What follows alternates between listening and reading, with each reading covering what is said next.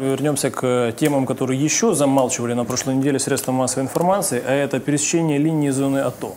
По большому счету, это очень такой важный момент. И, например, э, если брать э, освещение этого ранее, этой темы, то получается некое такое издевательство над гражданами Украины, когда им заставляют проходить какие-то невероятные процедуры, стоять по там, суткам двое в очередях для того, чтобы просто э, пройти вот этот вот пункт пропуска.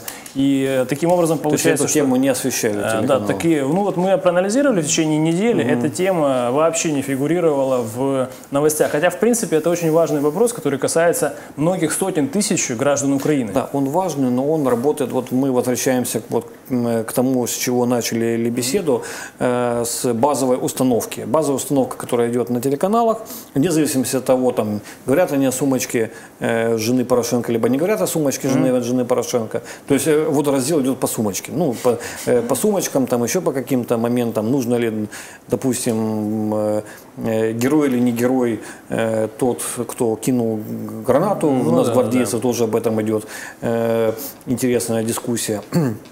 Вот, э, так вот, э, вне зависимости от того, по какую сторону стоят телеканалы, э, в обоих лагерях есть достаточно жесткая уст- установка. Не вызывать сочувствие, не вызывать у зрителя сочувствие тем людям, которые живут на, в этих самопровозглашенных республиках. То Да? есть они их сознательно идентифицируют как врагов.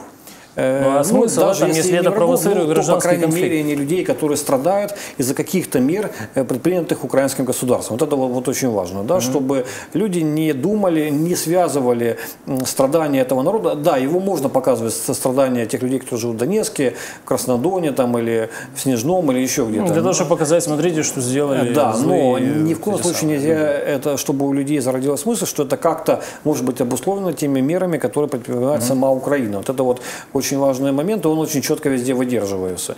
Э, Вот, поэтому э, тут Ну, ничего этой- удивительного к нет, что, теме что можно такая припи- можно- тема не Да, освещается. можно да. и прицепить, например, жизнь пенсионеров и бюджетников, которые Да, живут в зоне самое, это ЛДНР. то же есть, по самое. сути, эта тема вообще как бы Это все то же самое, да. Да, это все то же самое. Более того, вот я говорю, что идет дискуссия, но она, она может быть идти и по этому поводу, но она идет, э, вот если посмотреть там тот же Facebook, она идет на тему, что там один лагерь говорит, да вообще нужно, пусть они там все подохнут, эти старики, там вата это, э, кому они вообще нужны, там меньше будут голосовать там, за, да, меньше будут голосовать там за какие-то неправильные оппозиционные партии, там, да, вот. А другие говорят, не, ну так нельзя, ну, в принципе, конечно же, это наши граждане, но с другой стороны, пока там террористы, мы ничего им никак помочь не можем. Поэтому, ну, вот так вот, пусть они на себе почувствуют, что вот очень плохо жить при террористах, это, да, не изменит свое отношение к Украине. То есть э, и те, и другие, они выступают как бы за э, блокаду, за жесткие меры в отношении,